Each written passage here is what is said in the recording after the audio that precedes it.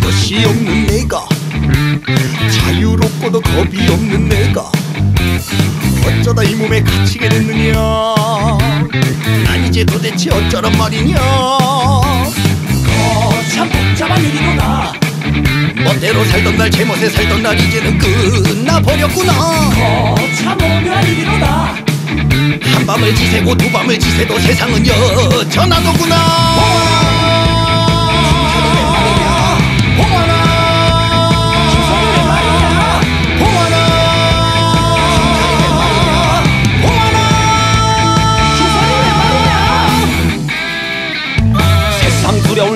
없던 내가 혈기왕성의 멋대로 살던 내가 어쩌다 이 몸을 갇히게 됐느냐.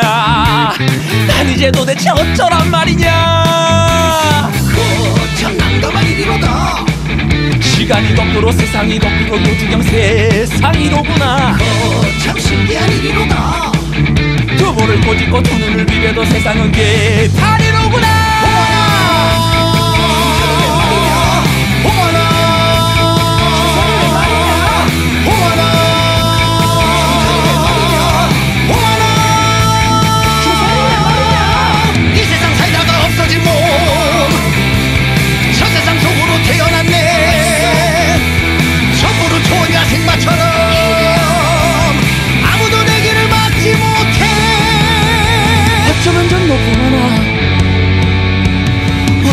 좀너 중전아